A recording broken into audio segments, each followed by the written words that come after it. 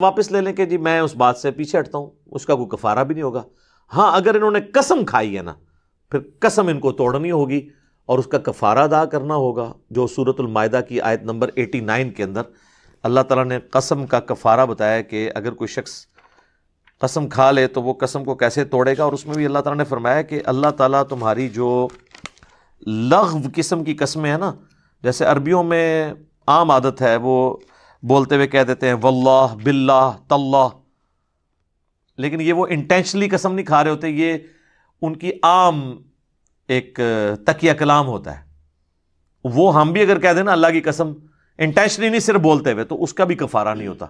हाँ पूरी इंटेंशन के साथ खाएँ ना तो वो अल्लाह तला ने सूर्य अलमायदा की आयत नंबर 89 में फरमाया ला युआखिदुकुमुल्लाहु बिल्लग़वी फ़ी अईमानिकुम अल्लाह ताला तुम्हारी गिरफ्त नहीं करेगा उन लग़व कस्मों के ऊपर जो तुम अपनी गुफ्तगु में बोल देते हो। वला की युआखिदुकुम बिमा अक़दतुमुल ईमान बल्कि अल्लाह ताला गिरफ्त करेगा उन कस्मों के बारे में जो तुम पूरे वसूख के साथ खाते हो। फ़कफ़ारतुहु तो उसका कफ़ारा ये होगा, अगर किसी ने अपनी कसम तोड़नी है, इतआम आशराती मसाकिन। कि वो दस मसाकिन को खाना खिलाएगा।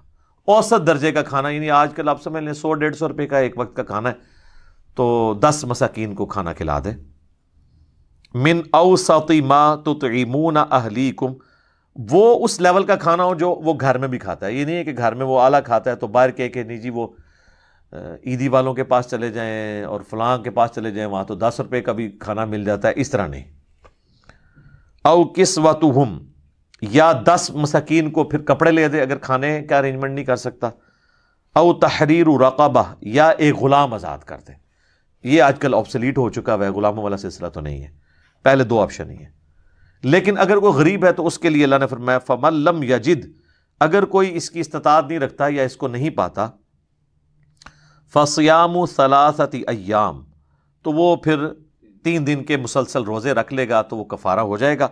ज़ाली का कफ़ारत ईमानिकुम इदा हलफ तुम ये उन कस्मों का कफ़ारा है जो तुम हल्फिया तौर पर पूरी इंटेंशन के साथ खाते हो।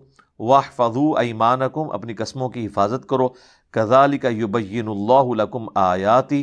बिल्कुल इस तरीके से अल्लाह ताला अपनी आयात खोल खोल कर तुम्हारे लिए बयान करता है। लाकुम तशकरून, ताकि तुम उसके शुक्रगुजार बनो। तो अल्लाह ताला ने कसम का कफ़ारा बता दिया। तो अब इस सूरत हाल में अगर उनको कोई ज़्यादा वहाँ मारा है ना तो वो अपनी कसम का कफ़ारा अदा कर दें तो वो खुद ब खुद उनका वो मामला टूट जाएगा। और ये पूरे का पूरा मामला यहीं पर ख़त्म हो जाएगा। बाकी याद रखिएगा, बुखारी और मुस्लिम दोनों में हदीस है, अल्लाह के महबूब सल्लल्लाहु अलैहि वसल्लम फरमाते हैं कि अगर मैं किसी मामले में कसम भी खा लूँ और बाद में मुझे पता चले कि उसके ख़िलाफ़ करने में ज़्यादा बेहतरी है तो मैं इनशाला अपनी कसम को तोड़ूँगा, उसका कफ़ारा भी अदा करूँगा। यानी कसम को ऐसी चीज़ नहीं अगर किसी ने खा ली और बाद में उसको आइडिया हुआ है कि फ़लाँ काम करना बेहतर था, मुझे कसम नहीं खानी चाहिए थी तो नबी इस्लाम अपने लिए भी कह रहे हैं, मैं कसम तोड़ दूँगा और मैं उस काम को कर लूँगा और उसका कफ़ारा दे दूँगा। एक और हदीस है बुखारी और मुस्लिम में, नबी इस्लाम ने फरमाया कि किसी शख्स का अपने घर वालों के हक में कोई कसम खा लेना और फिर इस कसम को तोड़ देना यह बेहतर है। उसका कसम खाना इसके तोड़ने का जो गुना है या इसके तोड़ने का जो वबाल है, इससे बड़ा वबाल है कि वो इसको ना तोड़े अल्लाह के नज़दीक। यानी अल्लाह को यह पसंदीदा है कि वो शख्स अपने घर वालों के बारे में खाई हुई कसम को तोड़ दे। अल्लाह ताला उसे यह नहीं कहेगा कि तूने मेरी कसम खाई थी तो तूने कसम का लिहाज नहीं किया। अगर वो उसका जुर्म भी हो कि उसने अल्लाह की कसम तोड़ी है तो वो कसम तोड़ना छोटा गुना है, बड़ा गुना यह है कि अपने घर वालों के हक में कोई ऐसी कसम खा लेना कि, जैसे लोग खा लेते हैं, कि अगर तू अपने, ये नहीं, वो कहते हैं, मेके गई तो तुझे मेरी तरफ़ से तलाक है। ये अक्सर लोग पूछ रहे होते हैं, या अपने भाई को मिली तो तलाक है, या फलां सहेली को मिली तो तलाक है। ये अक्सर खामदों ने इस किस्म की थ्रेट लगाई होती हैं और फिर यहाँ पूछ रहे होते हैं, क्योंकि उन्हें पता बीवियों ने बाज तो नहीं आना तो सर आप ही अपनी कसम तोड़ें और कफारा अदा कर दें। और अगर वो चली गई है तो तलाक वाक़ हो जाएगी। एक की नीयत की थी तो एक होगी, दो की की तो दो, तीन की की तो तीन और फारक बीवी।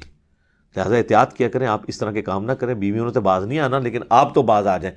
बीवियों को क्यों स्टेक के ऊपर लगाते हैं? मामला को और तरीके से भी हैंडल किया जा सकता है। अच्छा सही मुस्लिम में एक और हदीस है। इसी कॉन्टेक्स्ट में नबी इस्लाम ने फरमाया कि जो तुम नज़र मानते हो ना, उसका कफारा भी वही है तोड़ने का, जो कसम का कफारा है। कसम मुस्तकबिल के बारे में होती है। यानी अगर मेरा यह काम हो गया तो मैं ये करूँगा, या मैं यूँ करूँगा, अगर वो या यूँ नहीं करूँगा, दोनों केसेस में जब उलट चलता है तो कसम टूट जाती है। लेकिन अगर किसी ने माजी की किसी बात पे कहा ना कि अल्लाह की कसम मैंने ये नहीं किया तो ये कसम नहीं है, ना कफारा है। ये एक झूठी स्टेटमेंट है कसम के साथ स्पोर्टिव ये कसम नहीं होती, कसम मुस्तकबिल के लिए होती है। और नज़र भी ये है कि मेरा फलां काम हुआ तो मैं ये करूँगा। और फिर वो ये ना कर सके या ना करे तो वो टूट गई और मुस्लिम शरीफ के अल्फाज हैं, उसका कफारा। वही है जो कसम का कफारा कुरान की सूरतुल मायदा की आयत नंबर 89 में आया। बल्कि बुखारी मुस्लिम में एक और हदीस है, नबी इस्लाम ने फरमाया कि नज़र मानने से, मन्नत मानने से, नज़र और मन्नत ये दोनों इंटरचेंजेबल वर्ड इस्तेमाल होते हैं। तकदीर नहीं टलती, अलबत्ता कंजूस का माल निकल जाता है। तो तकदीर इस चीज़ों से नहीं टलती है। तकदीर में लिखी हुई चीज़ें जो अल्लाह ताला ने तकदीर में पहले ही डिसाइड किया है कि दुआ की बरकत से टाल दूँगा, दुआ की बरकत से भी सिर्फ़ वही तकदीर बदलती है। हर तरह की तकदीर नहीं बदलती। और सदका देने से भी सिर्फ़ वही तकदीर में आई हुई तकलीफ़ टलती हैं, जो तकदीर में लिखा होता है कि अगर सदका दिया तो मैं टाल दूँगा। वो तकलीफ़ जो आने वाली है इस एतबार से कि अल्लाह ने उसको डेस्टनी मुकर किया है, वो सदके से भी नहीं टलती, ना दुआ से टलती है। ये भी, यानी तकदीर की भी, लिखी हुई तकदीर के भी दो किस्म की इकसाम है। खैर, ये अलग से टॉपिक है। बहरल नज़र का कफ़ारा, यानी मन्नत का, और कसम का कफ़ारा ये सेम ही है कि आपने दस मसाकीन को खाना खिलाना है या उनको कपड़े लेके देने हैं, और जब ग़ुलाम वाला सिस्टम था तो ग़ुलाम आज़ाद करना है। और अगर कोई इस पर इस्तात ना रखे तो वो रोज़े रखेगा। डायरेक्ट रोज़े रखने से कफ़ारा अदा नहीं होगा। इस हवाले से एक और हदीस है। बुखारी और मुस्लिम दोनों में हदीस मौजूद है। नबी इस्लाम ने फरमाया कि अल्लाह की नाफरमानी में जो कोई शख्स कसम खाता है तो उसको पूरा ना करे। और ना कोई ऐसी कसम पूरी करे कि जो उसके बस में नहीं है। अब ऐसी कसम भी हो सकती है जो आपके बस में ना हो। मसलन एक शख्स कहता है, मेरा ये काम हो गया मन्नत के तौर पे वो कह ले, या कसम के तौर पर मैं रोज़ाना हज़ार नफल पढ़ूँगा। अब ये कौन पढ़ सकता है? मुश्किल काम है। अच्छा बाल लोगों ने ये भी कसम खाई होती है, मैं सौ घरों से मांग के ना अल्लाह की राह में न्याज करूँगा। यानी कसम तू मन्नत तू मनी है, मुसीबत लोगों को पाती है। और बाज तो बिल्कुल मासीत वाली कस्में होती हैं।